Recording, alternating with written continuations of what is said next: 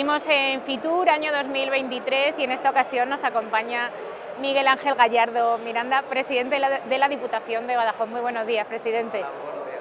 Bueno, Fitur es una cita imprescindible para la promoción de la provincia de Badajoz. ¿Qué, valoración podéis hacer de la última cita del año pasado, 2022? ¿Cuáles son los resultados que ha tenido la provincia este año? Es una cita ineludible porque aquí está el mundo.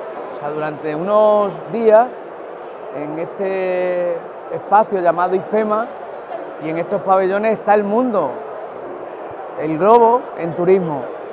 Y, el mundo se construye rincón a rincón, no espacio a espacio. Por lo tanto, aunque somos un rinconcito del mundo, Badajoz tiene cosas que ofrecer y por eso venimos, por eso queremos estar y por eso queremos eh, trasladar qué es lo que pueden ver en, la provincia de Badajoz.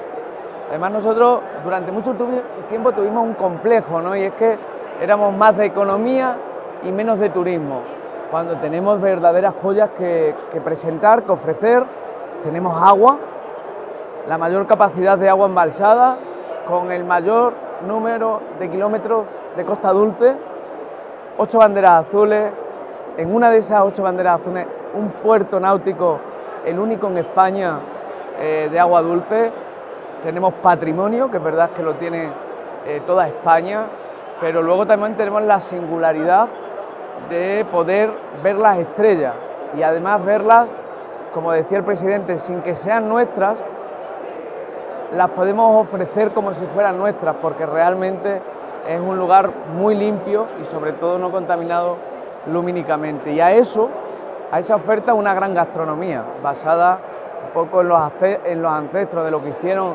nuestros antepasados y, el poder conservarlo. ¿Cómo se puede presentar eso en un mundo tan global?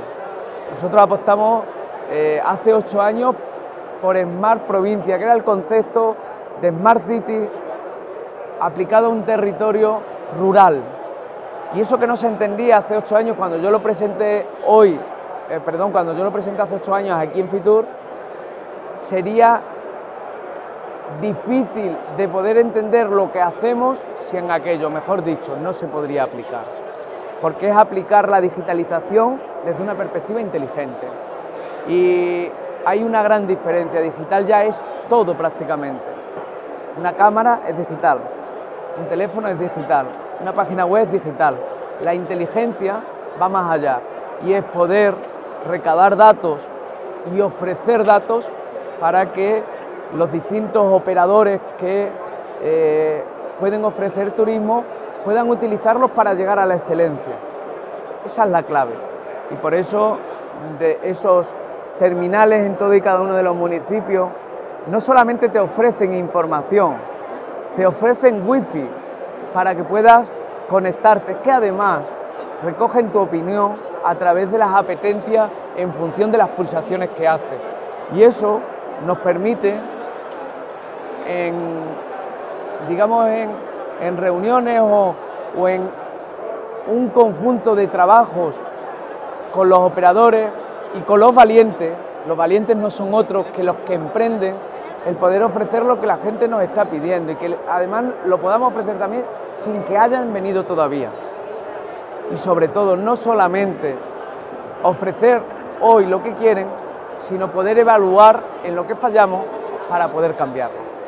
Y ese concepto es el concepto que nosotros ofrecemos como algo singular y distinto con esos cinco planes de sostenibilidad turística que acompañados del agua y sus banderas, acompañados de la gastronomía y su patrimonio, también ofrecemos el que podamos disfrutar de lo importante cuando vamos a lo urgente, que no es otra cosa que cuando vamos conduciendo nos podamos parar en esos 10 miradores que se están construyendo y que te ofrecen lo mejor del paisaje de Badajoz.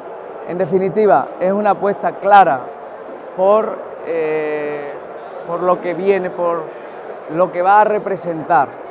Eh, casi nadie lo sabe, pero Badajoz dispone del centro Fireward, el único de España, que se ha convertido en referencia para aquellos que quieren ofrecer tecnología en su comunidad autónoma.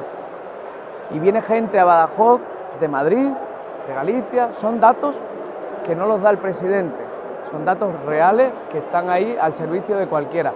Por lo tanto, fue una apuesta decidida, clara y acertada el apostar por la tecnología y es lo que nos va a permitir que seamos, en definitiva, un, eh, un destino sostenible, garantizando un futuro mejor para nuestros jóvenes. Y termino.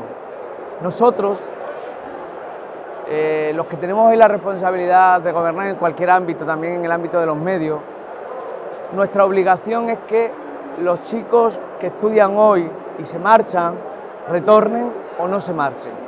Igual que la generación de mi padre, es que pudiéramos ser cada uno lo que quisiéramos en función de su talento y no en función del bolsillo de su padre, hoy que eso es viable, hoy que eso es real, nuestra obligación es que esos chicos no se marchen. Para eso hay que emprender política que permita, en definitiva, decidir quedarse aquí. Por eso surgieron los alojamientos rurales con rehabilitación pública, pero con gestión privada, para el que quiera ser un valiente y sobre todo, en definitiva, que la administración sea un apoyo para no molestar. Lo que no si no tenemos datos no se puede medir y ahí la Diputación de Badajoz y como presidente lo has tenido súper, súper claro. Y, sí, porque además en un mundo donde eh, cualquier, cualquier instrumento, cualquier sensor te ofrece datos, yo pusimos unos pasos inteligentes en mi pueblo como ejemplo, ¿no? y la gente le gustaba eh, que se iluminaba cuando pasaba. En realidad eso no era lo importante. Lo importante era que ese paso inteligente te daba los datos de la gente que pasaba a la hora que pasaba y la cantidad de personas que pasaban. De tal forma que un emprendedor, un valiente, decidiera si con esos datos es susceptible de crear un negocio. Ahí está la inteligencia, esa es la inteligencia que queremos, eh, digamos, redistribuir en el conjunto de la provincia, en lo público para mejorar los servicios públicos y en los privados para mejorar las oportunidades. E insisto, siempre desde una clara perspectiva, la Administración como facilitadora, pero en ningún caso como obstáculo. Por lo tanto, ayudar y no molestar. Pues Miguel Ángel Gallardo Miranda, nada, no, no, podía haber un mensaje mejor para los empresarios que ayudar y no molestar. Enhorabuena por el trabajo que venís haciendo en la Diputación de Badajoz, por esa estrategia tan clara y tan directa de los datos, porque ayuda muchísimo y no puedo decir nada más porque lo has dicho, lo has dicho todo. Enhorabuena.